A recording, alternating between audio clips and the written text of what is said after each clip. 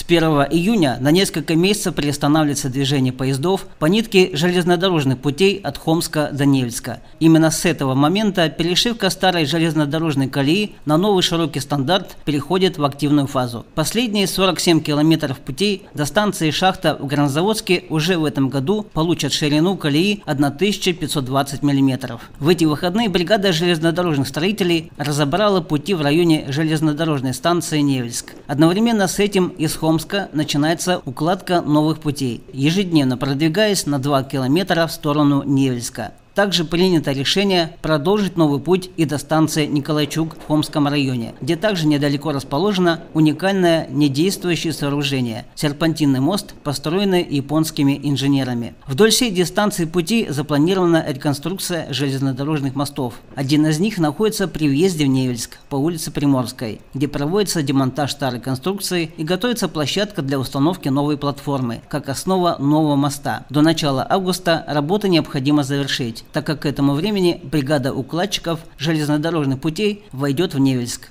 Реконструкция коснется еще девяти мостов на пути новой железной дороги. Бригады железнодорожников и специалистов по строительству будут передвигаться по объектам на новеньких вахтовых автомобилях. Судя по госномерам, они прибыли к нам из Иркутской области. В районе Дыши для них организована временная стоянка. Служба информации Невельских новостей.